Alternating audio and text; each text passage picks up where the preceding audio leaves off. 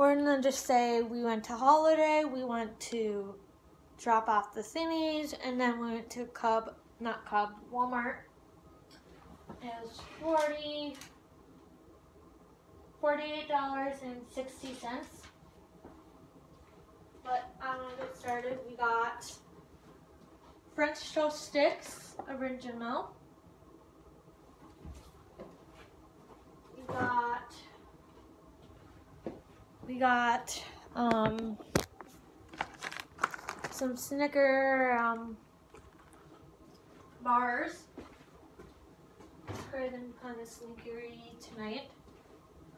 I got some honey roasted chicken blended with, we got some of these because I'm kind of low on the chicken.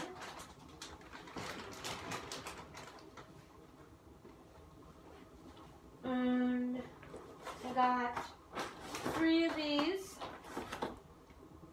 I got pepperoni, cheddar cheeseburger, and we're gonna try the Phillies um, steak and cheese ones.